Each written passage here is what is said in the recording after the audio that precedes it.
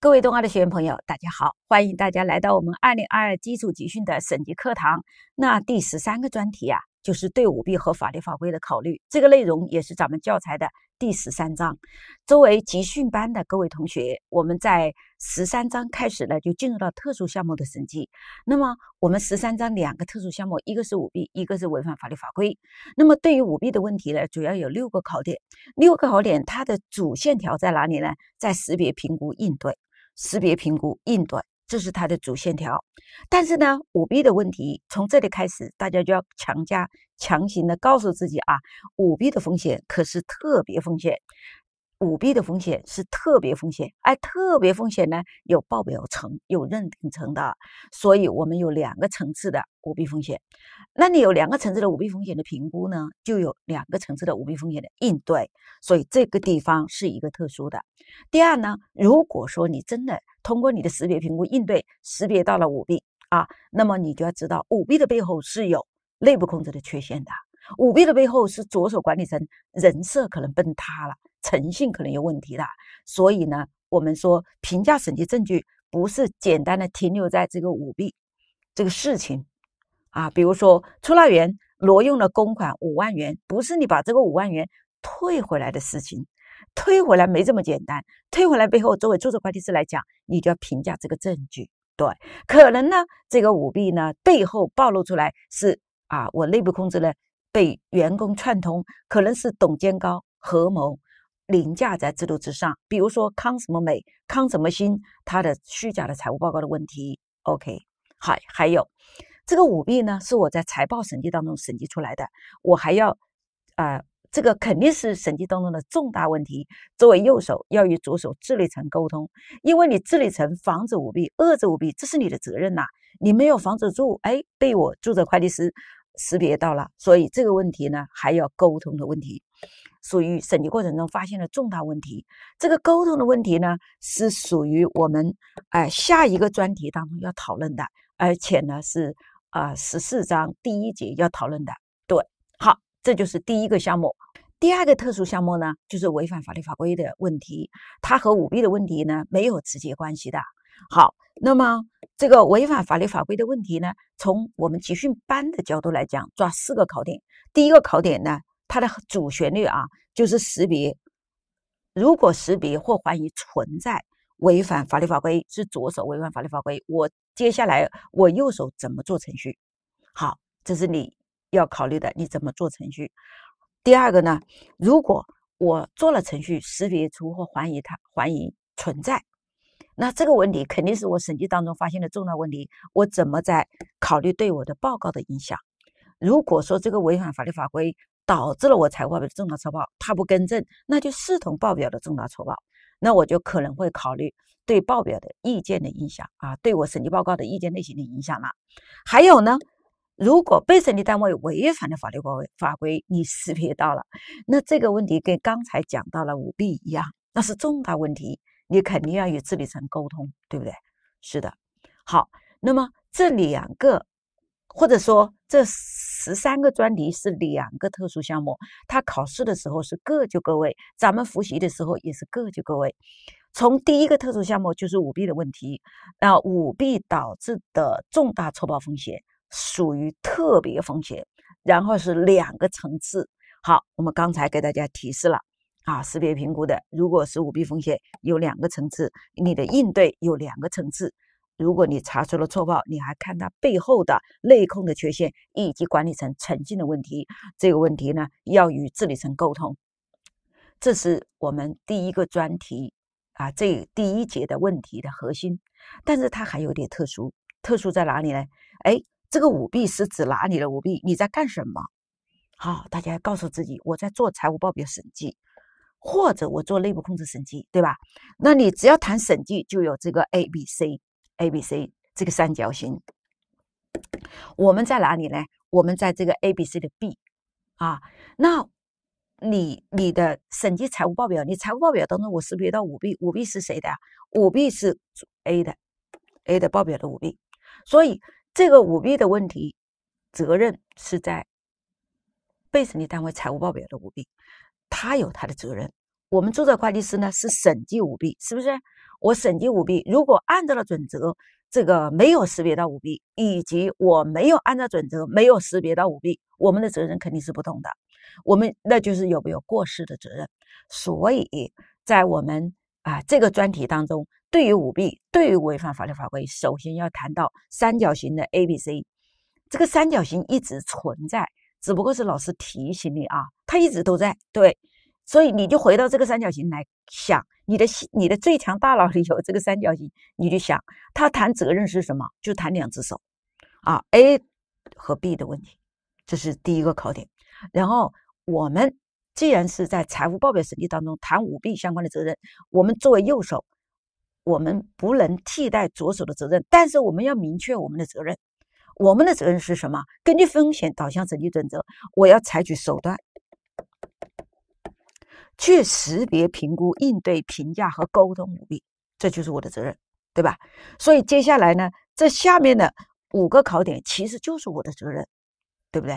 如果我采用了这个风险评估和相关活动去识别、评估、应对、评价、沟通舞弊，我有过失，我就承担我的过失责任，我还能有什么责任呢？对不对？那么左手呢？左手的责任呢？左手的责任，他要按会计准则，他遵守会计法，他要遵守公司法，他要上市公司要遵守证券法，他要防止遏制舞弊，这是他的责任。对，所以这一节的内容大家注意，一定要把三角形拿出来，在你的想法里面想，这个地方又应该有一个三角形，然后有两只手，对吧？当然，我们考试的时候，我们的主旋律是弹右手，弹右手就是零。二和到零六个考点，好，教材的考点比这多得多。这是我们集训班的考点。OK，好，第一个问题，责任，左手的肯定是先谈左手的，对吧？谈三角形，三角形 A、B、C 的 A 的，左手有什么责任？因为作为上市公司财务报表审计来讲，它有它的健全的治理机构，所以它有治理层、管理层。这里有一个图，你把图理解了就够了。那治理层要监督管理层，好，这是一个层面。还有治理层还要考虑管理层两个层面。这上面的责任当中，第一个层面呢就是治理层，在我们的审计报告里，我们还要公开的写出来啊。治理层监督财务报告的编制过程，你治理层是干嘛的？监督的。对，好，管理层呢？管理层就是执行，执行，执行什么呢？对于财务报表审计的角度，我就考虑舞弊的事情，他就要遏制舞弊。他要防范舞弊，这是你的责任。你通过什么来遏制和防范呢？内控啊，文化呀。所以他有一个啊，营造一种文化。还有呢，防范和遏制舞弊，想达到什么目的呢？防范舞弊就是减少舞弊嘛，防患于未然；遏制舞弊呢，就起到警示作用，杀一儆百。对，好。那么治理层还要考虑管理层，担心管理层啊有制度它凌驾了。还有呢，这财务报告的过程。关键的，我们说合并，关键的这个合并分录、调整分录，它干涉了，对，就是凌驾和干涉，过度干预，对，好，这就是我们说着手的责任啊。这个图太清楚了啊，所以大家一定要把图看一下。然后呢，你把这个老师给你的看图说话训练一下自己，训练自己，哎，这个话会在 A、B、C、D 里去让你判断，对不对？好，治理层第一个监督，监督谁啊？管理层。达到什么呀？他对舞弊的防范和遏制。那么怎么达到呢？他要营造一种文化。那么担心什么呢？担心这个再好的制度被凌驾了，或者被会计财务报告被不当的干预了。Yes。现在我们谈右手的责任，是不是？我们右手在干什么？审计财务报表。我们审计财务报表，财务报表不是我右手的。财务报表不是我右手，我只是审计财务报表，哎，对吧？那我审计财务报表，我的责任是什么？我的责任是采取手段。刚才讲了，采取手段啊，风险评估、程序和相关活动，我要有手段。然后呢，我就识别、评估、应对舞弊，然后评价舞弊，然后沟通舞弊，这就是我的责任，对吧？是的。好，那么，那我这个责任在我有什么要求呢？第一个，你要去。合理保证财务报表不存在重大错报，包括舞弊，所以你有一个职业怀疑。好，这就是你的第一个责任。第二呢，即使我按照了准则啊，最终我没有审计出财务报表的舞弊，那是不是说我就要对这个没有审计、我没有审计出来的舞弊负责呢？No，No，为什么 no 呢？因为因为有的舞弊啊，这个很一般的人也查不出来，我们也没查出来，知道吧？那么即使我按照准则，我也可能查不出来，因为舞弊者很狡诈，有的舞弊是内外串通，文件记录可能是伪造。由于串通和伪造，所以我可能没有发现，我可能没有发现舞弊啊。那么这并不表明我有过失。那么还要从这个呃审计准则的角度来讲，他要求我们干什么呢？是不是要求我们审计舞弊呢？No，我先给大家说这一句话，提示大家的啊，其实我们审计的是报表，我不是专门审查舞弊。如果专门审查舞弊也行，那就不是通用目的财务报表审计，那叫专项审计，对吧？那我给你这个专门查你财务报表的舞弊，这个不是上市公司财务报表的审计。对，可不可以？可以，专项审计，对吧？好，那么我如果是审计准则当中的财务报表审计呢，我是查重大错报，不是查舞弊，不是专门查舞弊。所以，我们有的同学一直很困惑，那老师，你不是合理保证查出财务报表的错报包括舞弊吗？那你是不是合理查出财务报表的舞弊呢？No，不是的，因为我上市公司财务报表的审计不是财务报表的舞弊审计。如果说上市公司财务报表舞弊审计，我们的审计准则要求我们审计财务报表的舞弊，那是一件事。现在我的审计准则不是提这个要求，所以这是一个大是大非的问题，对吧？我审计的是什么？审计的是财务报表合理保证财务报表不存在重大错报。虽然重大错报有的是舞弊导致，但是我不能。我不能，有的同学说，你能不能很爷们的说一下？我不能爷们的说，是吧？我的审计准则，我们现在国际审国际的审计准则和中国的审计准则啊，都不能直接说我审计上市公司财务报表的舞弊，我是财务报表舞弊审计，不是的，对。所以这个地方我们不能爷们的说，我们只能说，哎，我合理保证查出财务报表的重大错报，或者我对财务报表是否不存在重大错报。获取合理保证，我不是对财务报表是否不存在舞弊获取合理保证。对，好，这就是对舞弊的责任大是大非。接下来我刚才给大家分析了第二个考点到第六个考点，就是我们怎么去履行责任的。那你怎么去合理保证查出财务报表的重大错报，包括错误和舞弊导致的重大错报呢？我有手段，所以这个呢就是手段。从备考的角度来讲，这个图啊。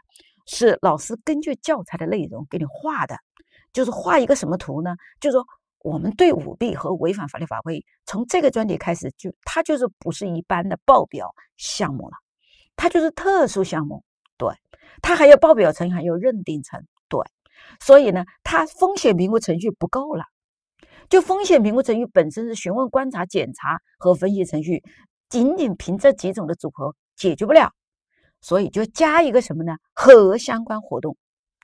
你看啊，这里的语言你是要特别注意的。就说，对舞弊的事项，我要做风险评估程序和相关活动。那么这个图呢，就要考多选。什么活动？五个你要背，对吧？好，那么你可能记得什么呢？询问我知道，因为我们的风险评估程序询问、观察、检查和分析程序。好，这两个是我们常规的风险评估程序。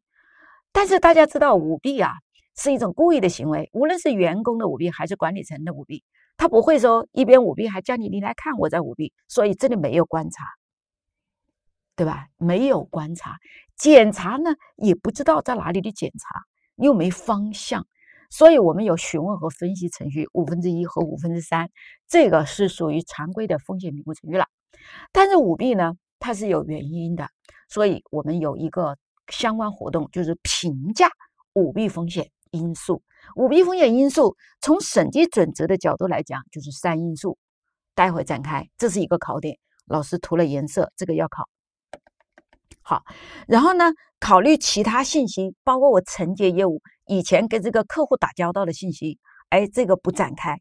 项目组，项目组啊，组织项目讨论。因为相当于舞弊的问题是特别风险嘛，特别风险就像一个病人得了病，它是有疑难杂症的，所以我要组织项目讨论。接下来呢，这五个你要背下来的时候，这两个又要展开。注意了，考点在这里。首先，这个图是直接拿来考的，多选题。第二呢，要展开五分之二和五分之五。先把这五个要记住，它就是直接一个考题。OK，五分之二呢，就是舞弊风险因素。舞弊风险因素呢，它背后有一个假设，就是他把舞弊的事项从三个方面去分析的。那么舞弊的理论界有两因素，也就是冰山理论；三因素就是我们这个三角形；还有四因素杠理论，对吧？但是我们国际审计准则以及中国的审计准则国际趋同下是三因素，也叫舞弊三角理论。舞弊三角理论当中，第一个就是啊，动机和压力，这是舞弊的首要条件。所以我们马上看一个题目，就说舞弊发生的首要条件是什么？就是动机和压力，对吧？比如说雷锋同志，大家知道三月五号学雷锋，听过吗？真的没听过，百度一下啊。三月五号学雷锋，雷锋的精神就是全心全意为人民服务。那么雷锋呢？雷锋的精神可以有很多方面，其中核心的一点就是为人民服务。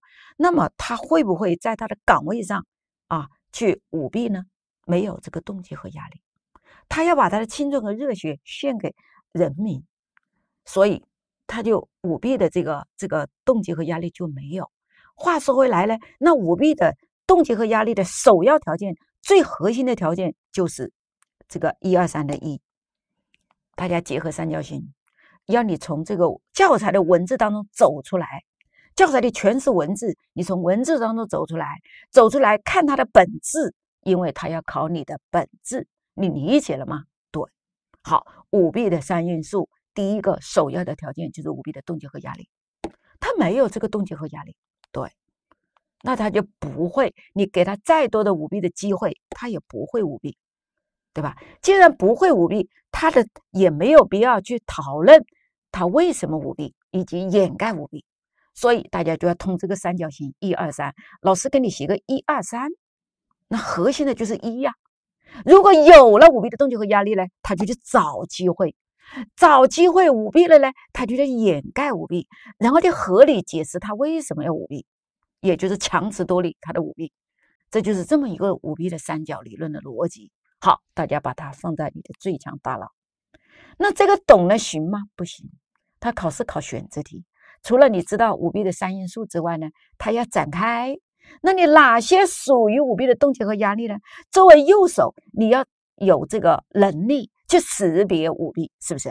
那你你要去找他的动机和压力，找内部控制有哪些缺陷，给他的机会，然后这个舞弊者他的价值观，他的手段。就是态度和借口。那你作为注册会计师，你要去识别、评估舞弊，你这一些如果不懂，你怎么去识别呢？所以这个要考，这个要考咋办呢？哎，这个考试啊，它有个规律，它就因为舞弊的问题，就相当于是一个刚才讲的是一个特殊项目，它临床当中都有经验，咱们在考试的时候就要熟悉教材的这个表十三杠一。十三杠一当中啊，对于舞弊的三因素，你肯定很清楚。这个三角形已经告诉大家了。我们在这个集训班里不能不能还要回避它，那很清楚三角形。然后呢，我们就要学会去判断哪些如果考试的时候 A、B、C、D 给我们哪些属于虚假财务报告的舞弊的动机和压力呢？本身实践工作要我们去寻找，现在摆在我面前，我都不知道。那不是打脸吗？所以考试就在考，为什么要考这个问题呢？他就要通过考试要你去掌握，对吧？好，那掌握什么呢？不需要你发挥，他只要你把这个教材的表十三杠一，你你摆在你面前，你知道就够了。好，先来看这个大道理以后的动机和压力。动机和压力，从我审计的是财务报表啊，跟中纪委查违纪违规不一样。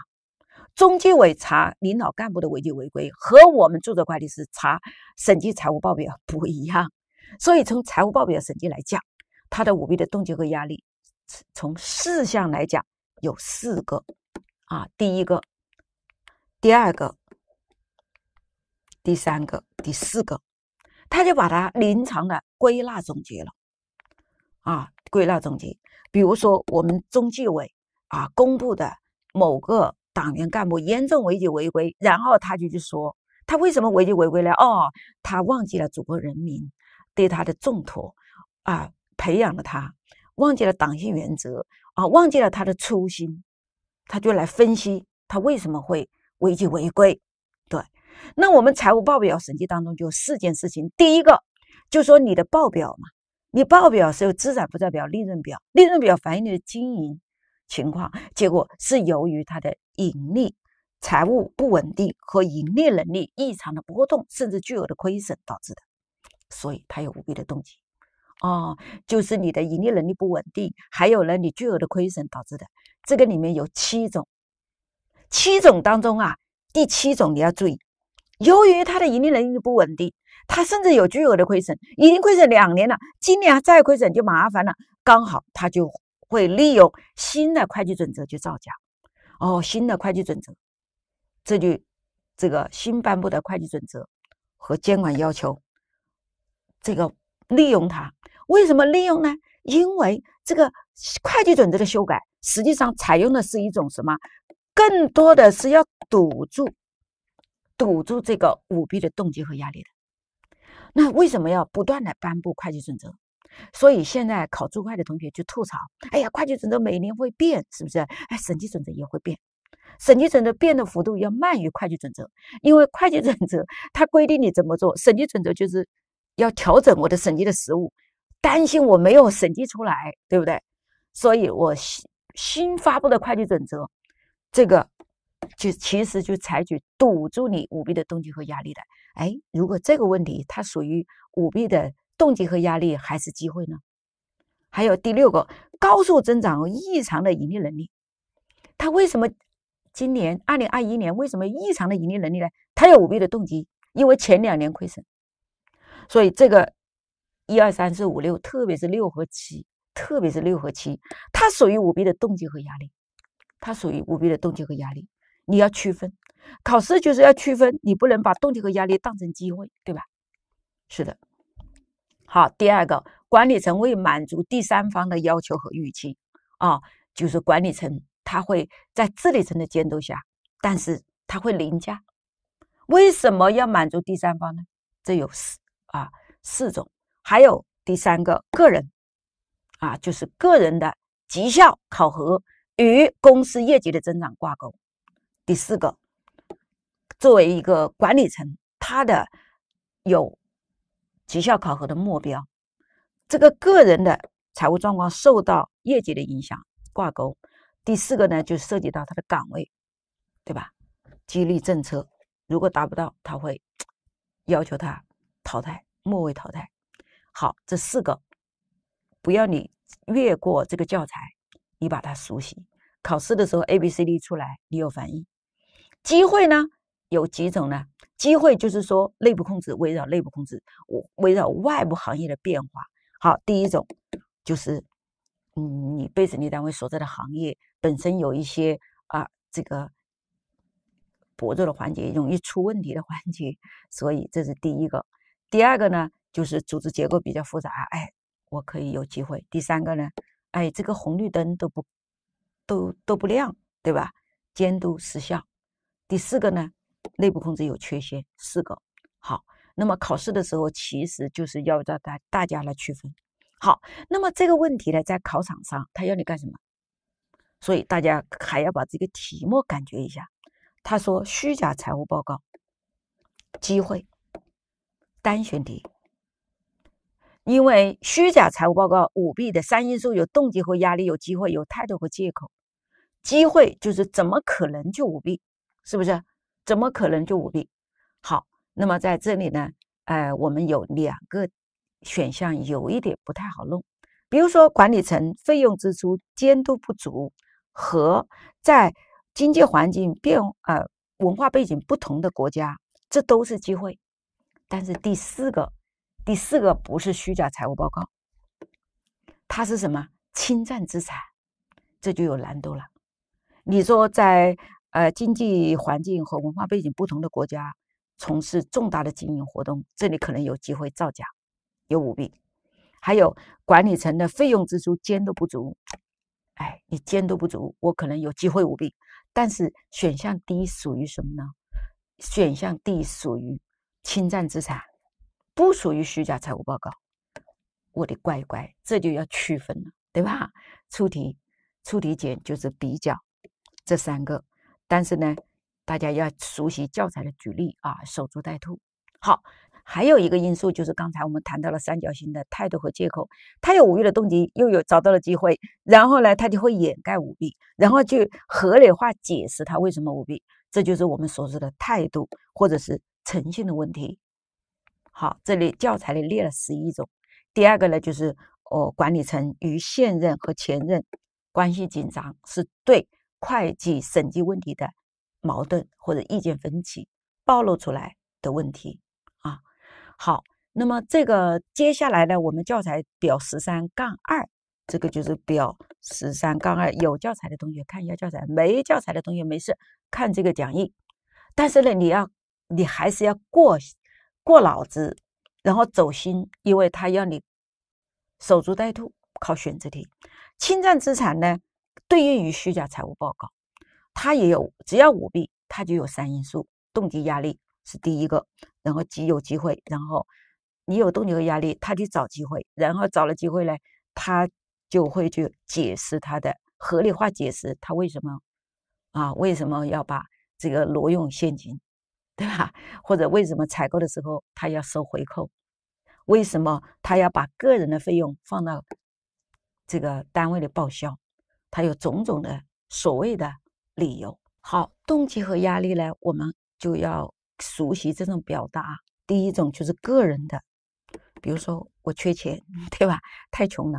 第二种呢，就跟这个呃单位关系紧张，我想搞点钱。关于这个员工侵占资产或者高管侵占资产，他的机会的第一个就是资产的某些性质和特定的情形啊。第二个呢，就是内部控制。所以大家知道，内部控制很关键，就是你想搞钱，不想搞钱，我不给你机会。啊，教材里一共列了十二种态度和借口呢，就是关于这个管理层和员工不重视相关控制啊，不重视相关控制，这是第一种。第二，对被审计单位不满，他有些情绪啊。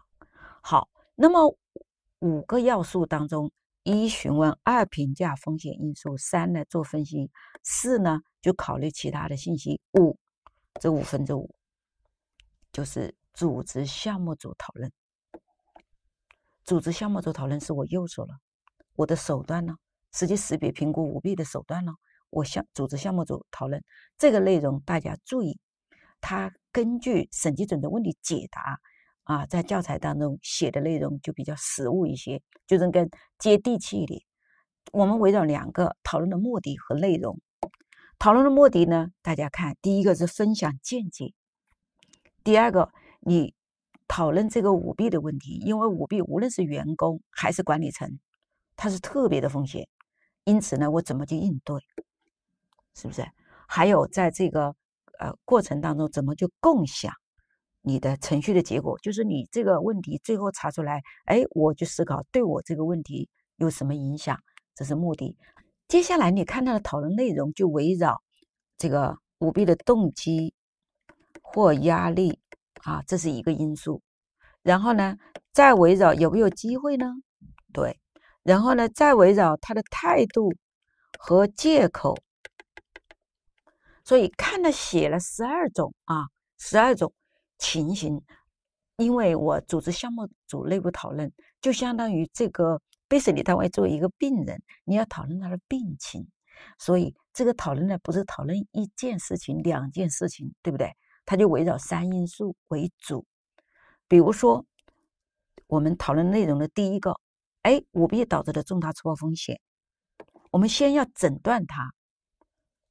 重大错报风险当中有没有舞弊导致？有，方式、领域，还有这个方式和领域。这围绕的是什么呢？虚假财务报告，还有呢，有没有啊？这个董监高或者是员工侵占资产，他的方式和领域，这就我们的动机和压力了。领域是什么呢？从财务报表审计来讲，比如说重大的关联方交易，重大异常的关联方交易，或者超出正常重大的关联方交易有没有？这个有，它就是有，就是特别风险。有没有舞弊？有舞弊，没舞弊，我都要做程序。这是我们要讨论的。比如说，重大的会计估计，哎，商誉减值。举个例子啊，商誉减值六十个亿，这个肯定要讨论，对吧？比如说收入确认，哎，收入确认，你说这个属于讨论的领域，它容易被操纵，对吧？好，第二个讨论呢，就说整个的讨论的节奏就围绕这个三因素了，就是有没有管理层，你这个领域和方式，哎，它是为了降低赋税，还是为了操纵报表呢？对吧？还有它的披露。是不是有意的隐瞒呢？还有，我讨论的时候要分析，哎，外部啊，这个出口啊，内部内销啊，导致它实现不了，好，动机和压力。还员工，他也接着要讨论侵占资产的问题。员工一，他就讨论机会啊，监督就让他有机会了。他生他的行为和生活方式告诉你，他有些变化，这里面。他要追求什么样的生活？和 侵占资产的动机和压力，还有我们要强强调，在整个过程当中要关注、关注，要保持这个舞弊的动机、压力、机会，这个关注提要求了。好，还有遇到哪些情形可能表明存在舞弊呢？就相当于我们整个过程当中，相当于我项目组织项目组要讨论。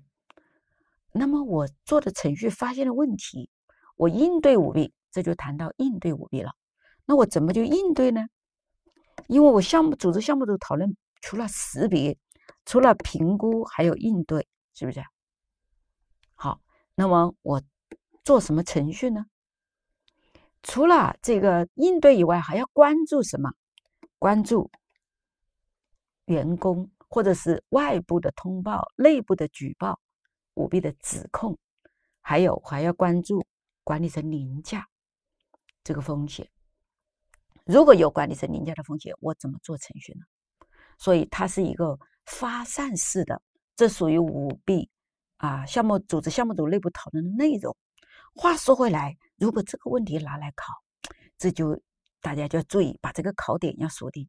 像这样的问题拿来考，你说全部死记硬背是不可能的。但是你要知道，这里有十二个内容，围绕的是舞弊的动机、压力、态度、借口识别。除此之外，还有应对啊，应对。你把这个搞清楚了，这个多选题你就能判断了。好，接下来我们就要有了五五弊风险评估程序和相关活动五个角度，我有手段，我就要回到识别和评估，也就是相当于诊断。财务报表的舞弊的风险，到底有没有舞弊？哪里有舞弊？是不是？那么在这个问题当中，我们有一个特殊的知识点，老师要提醒你啊，就是千千万万告诉自己，干嘛？就是舞弊的风险有两个层次，第一，第二，它是特别风险啊，所以这里要提醒，就考试的时候你就告诉自己，舞弊的风险有两个层次。不能是一个层次，一定是两个层次。第二，有两个层次就有两种应对。第二，报表层和认定层的都是特别风险。好，先入为主，告诉自己。再看一个图，那我刚才说了，风险评估程序我有五个五个角度，风险评估程序和相关活动是不是？大家要记住啊，那个图有五点。五点当中的第三、第二点就是评价舞弊风险因素，这个干嘛呀？这就是我去了解被审计单位及其环境，包括了解内控、识别评估舞弊的风险的手段呢？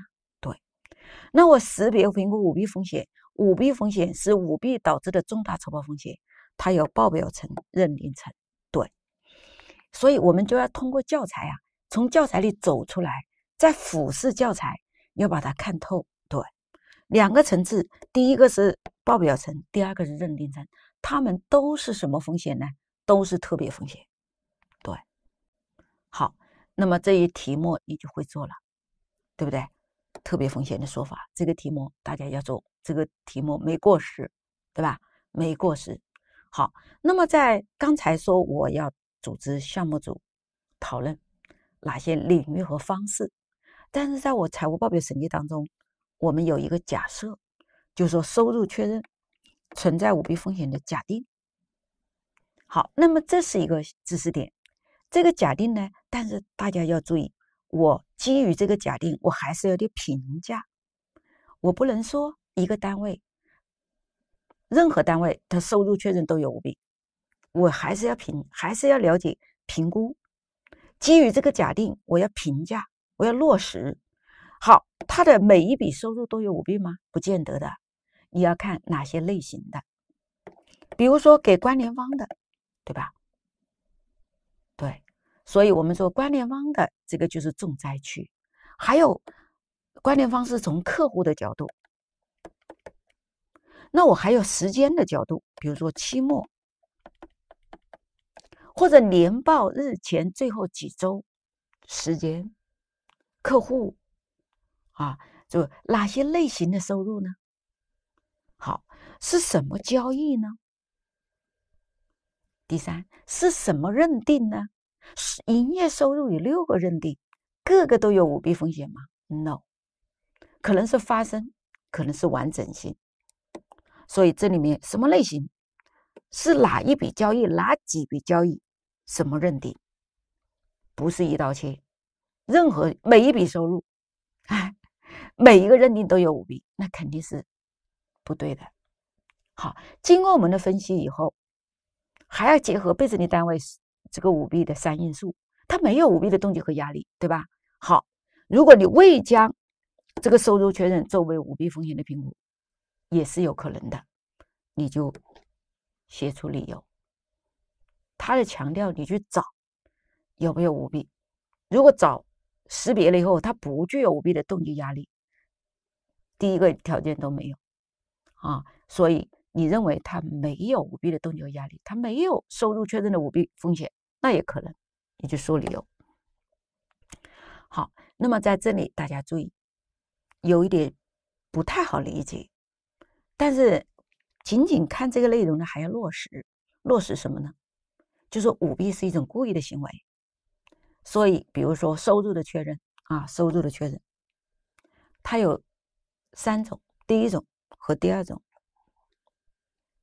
第一种就是这个客户都没有假的客户不存在，这是叫虚假销收入。第二种是高估，高估可能是通过交交易，比如说关联方的交易，还有可能通过什么时间啊，一个是时间，一个是价格等。这个来达到多计收入，虚假收入是指是指什么呢？连出库单都没有，上游的销售单，这个客户都没有的，对不对？虚假就这个客户不存在。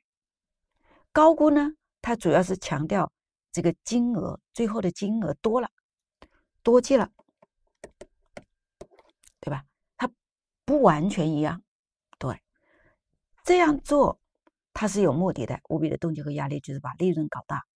相反呢，还有一种，就是从金额来讲，它是少记当年的收入。为什么呢？因为今年的收入非常的超预期的好。第二，减少税款，所以他也要从舞弊的动机和压力。这些内容你听不听得懂？听得懂，但是你归纳了吗？没有。但是，一旦考到咋办呢？那就瞎蒙，所以要归纳总结啊。好，那么大家注意，比如说像刚才这个考点，在考场上去归纳总结太难了。我们现在在集训班里就要搞定。比如说，下列各项中，我应当评估为特别风险，这是平时归纳总结的。比如说，收入确认、管理层凌驾、超出正常。重大关联方交易、高度估计不确定性的会计估计。注意，收入确认不一定有特别风险，有没有特别风险，我要去评估，不能说基于这个假定，它就是特别风险，对吧？我还是要评估哪些类型、什么交易、什么认定。但是管理层凌驾和操作正常重大的关联网交易，那就是的。但是呢，高度估计不确定呢，不一定。你敢不敢选，对吧？敢不敢选在考场上？是因为你平时都归纳总结了，所以你敢。为什么你敢呢？你艺高，你胆就大，对吧？你财大呢，你气就粗；你理直呢，你气就壮。这都是成语啊！艺高胆大，财大气粗，理直气壮，对吧？所以，哎，这就学到这个专题十三嘛，你就要 归纳总结。归纳总结，总结归纳，老师给你的讲义，你要消化。对，好，我们刚才讲了，舞弊的风险是特别风险，两个层次，那你评估就要应对。作为报表层，那叫什么呢？总体应对措施。总体应对措施四句话，当然要背了，对不对？好，认定成的呢？认定成的我就叫程序，报表层的我们不叫程序。但是刚才讲了，管理层凌驾的就是特别风险，而且是报表层。你还要知道，对，管理层凌驾的是什么呢？是报表层的，是特别风险。那我怎么应对呢？我们要做三个程序，对。这三个程序呢，不是认定层的程序，是疑难杂症的程序。所以第四个考点，各位同学先把这个图放到你的最强大脑，你才能够去思考，对吧？我应对舞弊风险，有报表层、有认定层，还有凌驾，是三个方面。哦，真的嘞，真的，那还用说，对不对？所以你要搞清楚。这个这个管理层凌驾的风险，它不是总体应对措施能搞定的。如果财务报表层次的报表层的呢，我总体应对措施其实是四句话的要求。管理层凌驾的呢，它是报表层，你总体应对措施解决不了，他要什么呀？他是疑难杂症，你要专门给他开处方。对，好，这个图你要掌握。否则你没有体系，你解决不了从十三个专题之后的问题呀。从十三个专题后面，它就要交叉啊，知识点交叉，要立体化。所以老师给你的图，你一定要重视，对吧？好，总体应对措施呢？总体应对措施，你是评估的财务报表层次的舞弊风险。舞弊风险作为报表层次，它就有它的特征。广泛、多项认定，难以界定某一笔。那我的应对措施，刚才说了四句话，肯定要背。我要派人，派什么人，对吧？派什么人？分派和督导项目组成员时，我要考虑承担重要职责的项目组成员。你要派牛人，对吧？你要派什么人？牛人。舞弊呢？我们强调的是财务报表舞弊。那么最后的报表，你的报表是总账明细分得上来的，那么就跟你的会计政策有关。操纵报表，操纵会计政策，会计政策、会计估计啊，这是第二。第三呢？程序不可预见。表面是三句话，啊，表面是三句话，实际上有四句话，大家注意。为什么有四句话呢？第一个，派什么人；第二，要考虑舞弊导致的这个评估结果，两句话；第三句话，会计政策；第四句话，程序不可预见，要增加不可预见。好，再说一遍，派什么人？这是一句话。然后呢，舞弊导致的重大承包员的评估，他的意思是什么？就是之前你不知道它是舞弊风险，后面你发现这个有舞弊了，你就要调整你的程序。对，这一句话。如果是多选题，派什么人是一件事，然后这个考虑舞弊风险的评估，比如说这个是 A，这就是 B，就说你你先了解内控，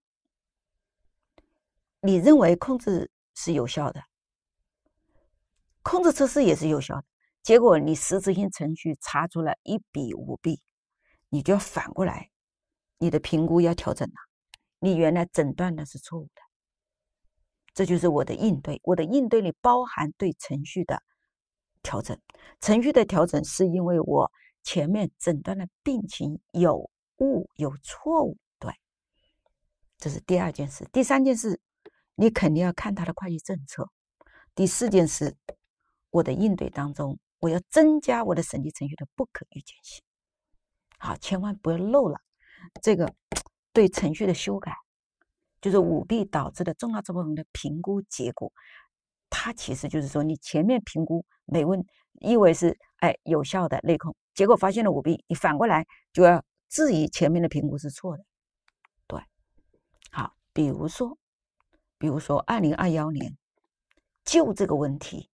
舞弊导致的财务报表层次的重大错报风险，财务报表层次的重大承包风险，我的总体应对措施，那肯定是要你要，比如说老师跟你讲的这个图，你这都是准则的事项和要求，你肯定要搞定，你不能靠考场上去蒙四个角度。第一个角度派人，好没问题。第二个角度。我要增加审计程序的不可预见性，没问题。第三个角度，会计政策没问题。它还有一个扩大细节测试的样本规模，对吧？这是认定层，不是报表层。报表层解决不了，这个解决不了报表层，对不对？好像是对的，好像很对哦。我扩大规模还不对吗？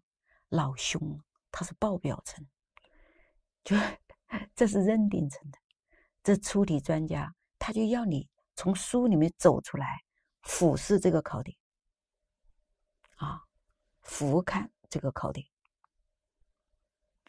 所以从十三个专题开始，你就要归纳总结了。好，应对舞弊导致的认定层的呢？哎。那刚才的那个扩大细节测试的样本规模肯定就对了，对吧？那还是可以考虑的。那么是不是的呢？这个也要背，不是你想象的，因为它是特别 风险，所以我要改程序的性质。那怎么改呢？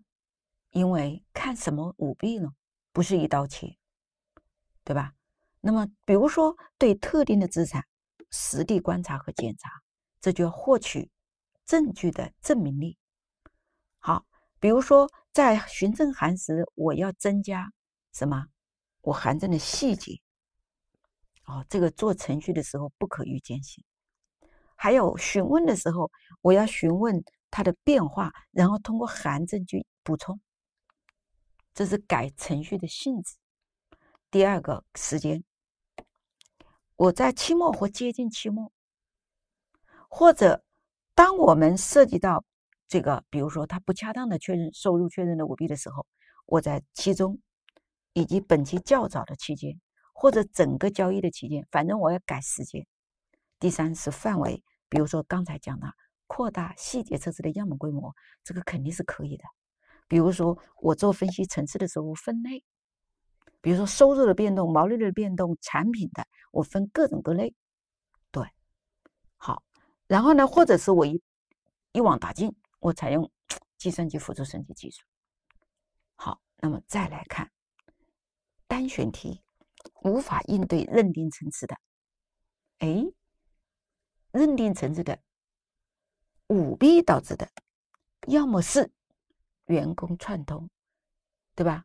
员工串通的内部控制制度无效了，无法改变。控制测试的时间没有用，因为内部控制制度已经失效了，所以一看只能是围绕实执行程序，一看这个肯定搞不定，肯定搞不定，因为舞弊导致舞弊是故意的，制度就被规避了。这个题就送分题，因为舞弊的背后要么串通，要么凌驾。串通是指员工，凌驾是指管理层。对，好，那么具体的应对措施呢？啊，与编制虚假财务报告导致有关的，它的重点在强调教材里举例了三个，怎么来增加，怎么来应对收入确认。存货的数量有比，管理人的估计有管理层偏向。收入确认，那我怎么来应对呢？我们不能把本期的减上一期除以上期，这是绝对数。我们就收入确认的时候，我对收入项目大家注意分解，分解。我函证的时候，我要看合同条款背后协议，对吧？然后呢，我还看时间。其实这也是增加审计程序的不可预见性。然后我截止测试时间，然后对于通过电子方式自动生成的，我要做控制测试。比如说，哎，我们说在抖音直播啊，十二月三十一号，我有直播带货，确认了多少笔销售，你还要知道。他只要不发货，他元月一号，他就可以退货，对吧？即使发货了，他可以七天无理由支持七天无理由退货，有运费险，他就会退货。像这种，我就要看，我就要测试他的系统。这举例啊，因为抖音直播，它是通过什么？他的订单、他的退货、他的这个这个。啊，退款都是在电子方式这个系统生成的。好，存货的数量，存货的数量呢，就是他是说是有舞弊嘛？舞弊的话，你就要注意增加审计程序的不可预见性，你怎么去应对？不预先告知，同一天对所有，对吧？时间在期末临近期末，过程呢，除了额外观察以外的，还有按照它的等级。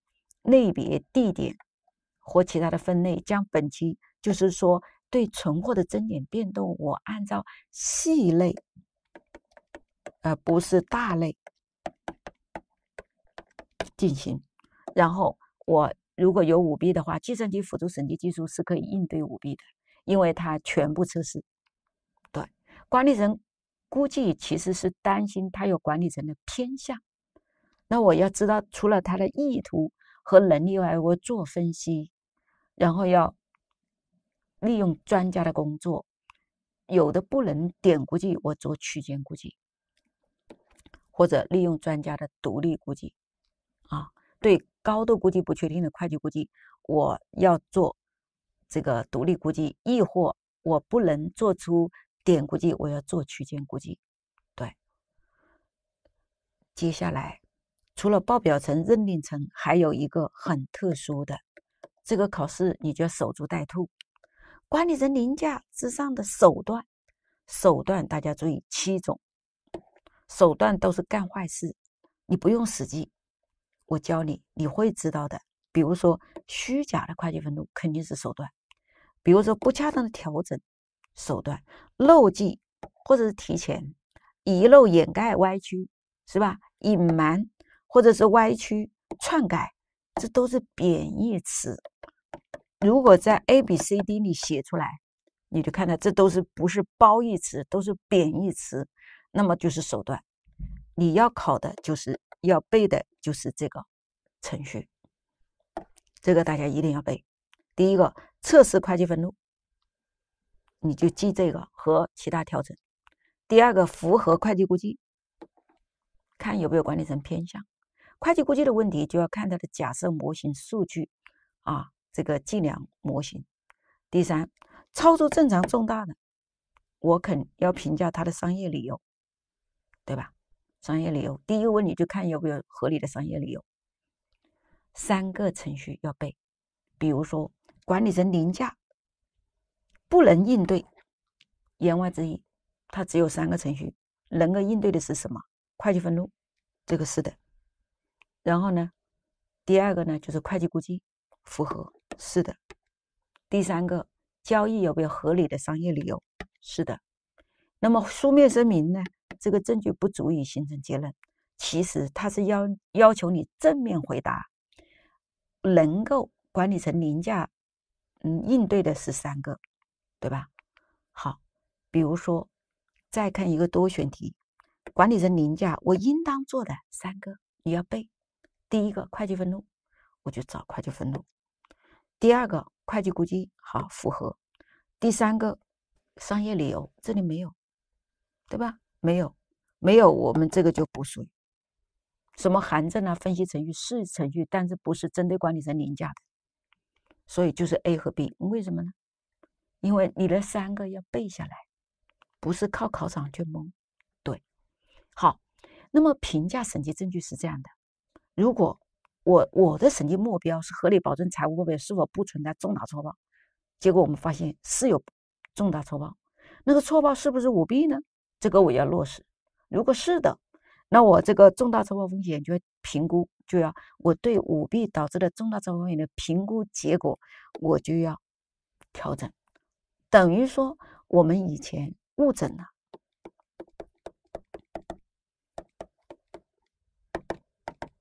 它不是正常的感冒发烧，它是新冠肺炎病毒感染，就是调整。啊，那我重新考虑证据的可靠性。他比如说他的他的不诚信了，那么他我获取的这些书面声明和询问他的答复就不可靠了，因为他跟这个不诚信的管理层的回答就不可靠了。那咋办呢？我要评价对审计的影响，我还审不审啊？我是不是三十六计走为上计呢？我不出报告了，就这个意思。所以，我们整个的审计就是合理保证财务报表不存在重大错报，错报由舞弊或错误导致。如果是错报是舞弊，如果是舞弊，我接下来就要考重新评价这个重大错报风险，重新考虑这个证据，重新考虑我还审不审。首先把这四个问题。它有逻辑的，它有逻辑，你肯定要搞清楚，你要知道它的逻辑。走心，再打开。那第一个问题呢，实际上是职业判断。如果这个错报是错报，是故意的还是无意的，这就是判断的舞弊。那么舞是舞弊吗？舞弊它是要有迹象的，对不对？什么迹象？舞弊的动机、压力、机会、借口，这些我经过排查，哎，都没有。那就不是舞弊，所以是不是舞弊？打一个不恰当的比方，对吧？他发烧了，那是感冒呢，还是新冠肺炎病毒？对吧？但是他有迹象，假定说他发烧三十八度八，他发烧了，他有这个舞弊的动机、压力、机会、借口，有这个因素，我就排查，对吧？好，如果是的。表明我识别出某项错报，并有理由认为可能它是可能是舞弊导致的，或者涉及到董监高合谋的舞弊，那么大家注意，这个就要考了。你第一个问题有错报是不是舞弊呢？我要评估排查，排查它是的，是的，无论这个舞弊的金额大小。我都要重新评价什么？重新评价这个重大错报风险的评估结果，这也是我们的总体应对措施在这里落实，对不对？我总体应对措施是四四四个：首先判由人，第二要对舞弊导致的重大错报风险的评估。刚才也老师跟你讲了，可能我前面误诊了、误判了，对。好，第三。证据可不可靠？如果是的，这个错报就是舞弊，那么涉及到谁呢？是员工还是管理层还是第三方串通，他就不诚信了，这个证据就不可靠了。那我接下来我就要考虑对审计的影响，我审不审？我还接着出报告吗？我可能不出报告了，对吧？就这个意思。我可能出报告，但是这个舞弊我要他更正。我内部控制缺陷，我以书值得关注的内部控制缺陷，我以书面的形式与治理层沟通，我还是按相关的审计准则去处理。但是我可能不出报告了，